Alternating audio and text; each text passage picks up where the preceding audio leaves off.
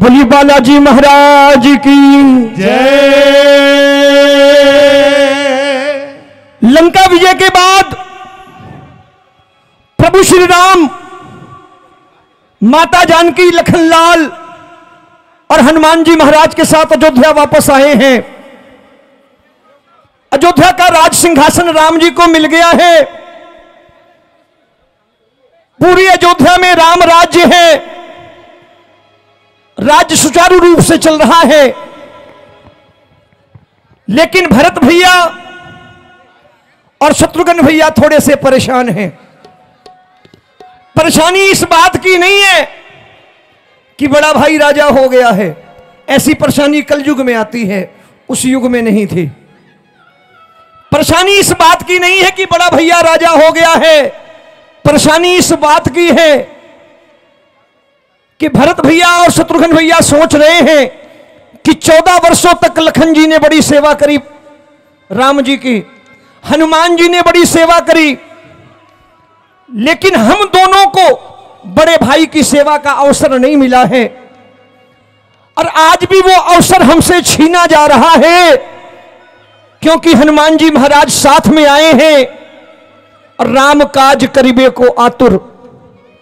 राम काज करीबे को आतुर रामचरित सुनबे को रसिया। राम जी के मुँह से कुछ भी निकला नहीं कि हनुमान जी ने दौड़ के काम पूरा किया नहीं। अब सारे भाइयों ने मिलकर के निर्णय लिया कि हनुमान जी की विदाई करो। अब उनका कार्य संपन्न हो चुका है। अब वो जाएँ घर को। अब देखिए, सारे भाइयों ने मिलकर निर्णय लिया है। बड़ा प्यारा प्रसंग सुनिएगा, आनंद आएगा। और निर्णय क्या लिया है?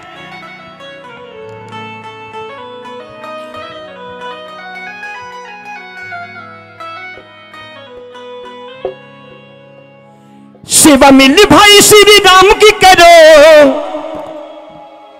अरे सेवा मिल भाई श्री राम की करो। अब तो विदाई हनुमान की करो। अब तो विदाई हनुमान की करो। जरा हाथ ऊपर करके बड़े प्रेम से आओ। मिलके सुनाऊँगा।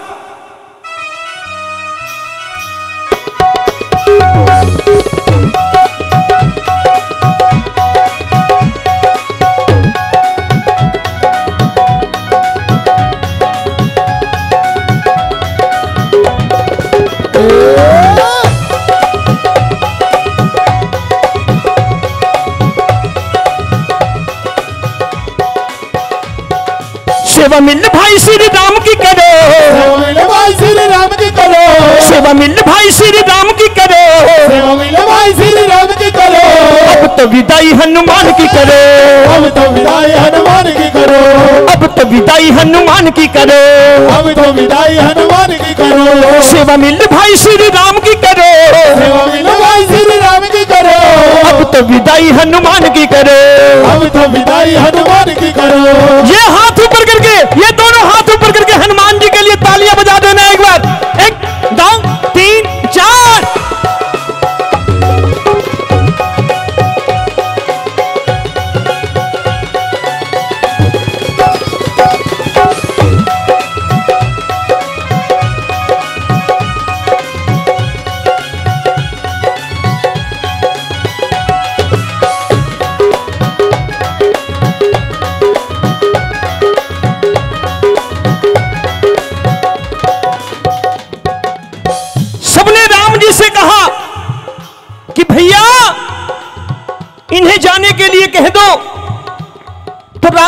क्या जवाब दिया?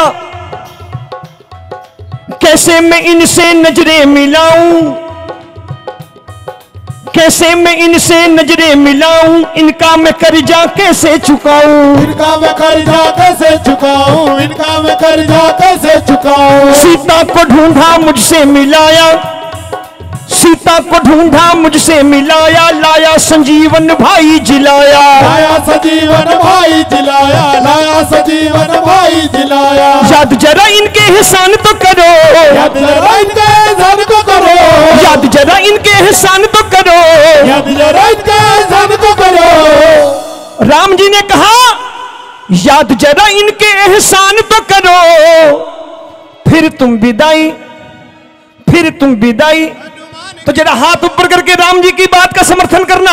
अरे याद जरा इनके एहसान तो करो। याद जरा इनका सन को करो। फिर तुम विदाई हनुमान की करो। फिर तुम विदाई हनुमान की करो। फिर तुम विदाई हनुमान की करो। फिर तुम विदाई हनुमान की करो। मिलकर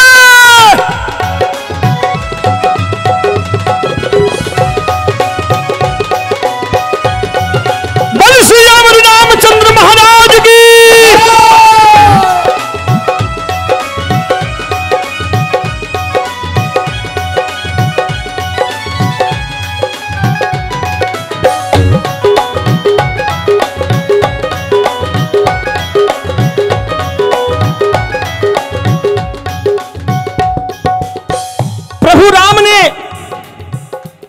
इनकार कर दिया कि मैं नहीं बोलूँगा जाने को। सुनो मीठी मीठी तालियाँ बजाओ ना बड़े प्रेम से। क्या बात? सबने माता जानकी की तरफ़ देखा कि माता आप बोल दो जाने को हनुमान जी को या अयोध्या से। माता जानकी ने क्या जवाब दिया?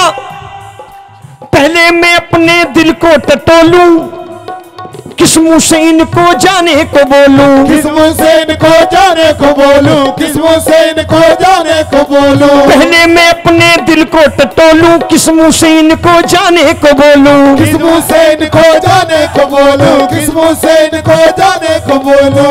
मेरे पति की लाया निशानी जब मैंने थी मरने को है ठानी। जब मैंने थी मरने को है ठानी जब मैंने थी मरने को है ठानी। मेरे पति की लाया निशानी जब मैंने थी मरने को है ठानी। जब मैंने थी मरने को है ठानी जब मैंने थी मरने को है ठानी। याद जरा मेरे परिणाम को करो। याद जरा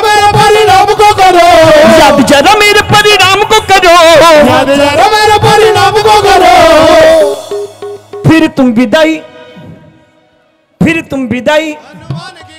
एक बार हाथ ऊपर करके बोल दो। याद जरा मेरे परिणाम को करो।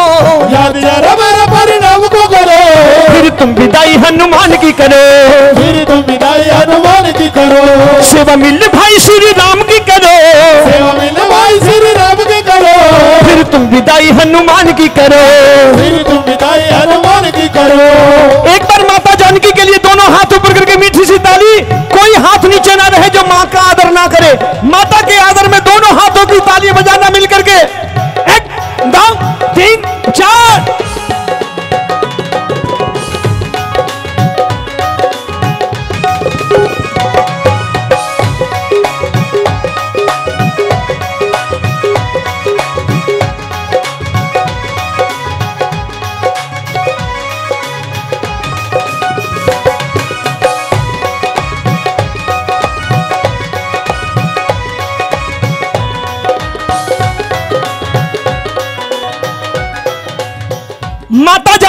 भी मना कर दिया कि मैं नहीं कह सकती जाने को। किस मुँह से बोलूँ? अब सबने लखन भैया की तरफ़ देखा और कहने लगे, लखन जी, आप बोल दो जाने को इन्हें। अब अयोध्या से जाइए। तो लक्ष्मण भैया ने क्या कहा? हनुमान ने मेरी जान बचाई। तालियाँ बजा लो मिलकर करके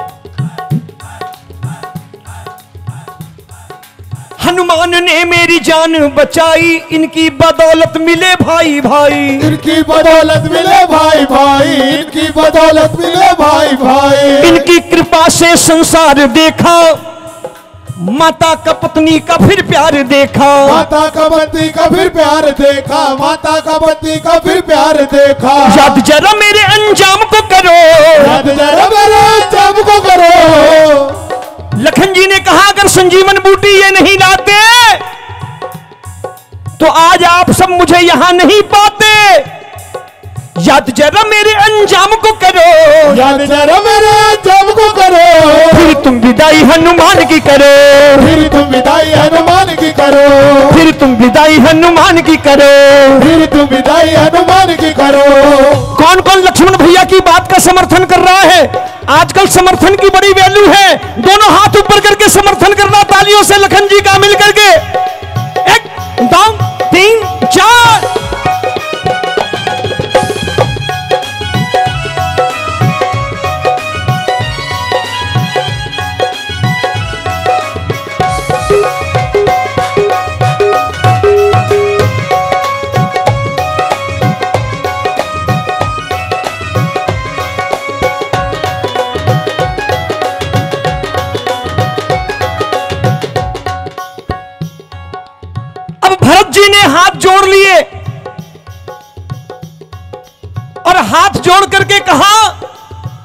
मुझे क्षमा करें। मुझे इतनी बातें मालूम नहीं थी। और भरत जी ने निर्णय दिया। कहने लगे, इनकी बदौलत परिवार देखा रघुकुल पे इनका उपकार देखा रघुकुल पे इनका उपकार देखा देखा। इनकी कृपा से परिवार देखा रघुकुल पे इनका उपकार देखा। रघुकुल पे इनका उपकार देखा रघुकुल पे इनका उपकार देखा। और सबसे बड़ी बात भरत जी ने कही राम जी से कि भैया जिस घर से हनुमान जाएगा भैया जिस घर से हनुमान जाएगा भैया वो घर मुसीबत उठाएगा भैया। वो घर मुसीबत उठाएगा भैया वो घर मुसीबत उठाएगा भैया। ये बात आपके लिए भी कही है कि आप किसी भी देवी देवता की पूजा करो लेकिन कभी हनुमान जी को घर से विदा मत करना क्योंकि भरत जी ने कह दिया जिस घर से हनुमान जाएगा भैया वो घर मुसीबत उठाएगा भैया। वो घर मुसीबत उठाएगा भैया वो घर मुसीबत उठाएगा भैया। बनवारी भजन श्री राम के करो। बनवारी भजन श्री राम का करो। बनवारी भजन श्री राम के करो। बनवारी भजन श्री राम का करो। कभी ना विदाई हनुमान की करो। कभी ना विदाई हनुमान की करो। अरे बनवारी भजन राम श्याम के करो। कभी ना विदाई हनु। कभी ना विदाई हनुमान की करो।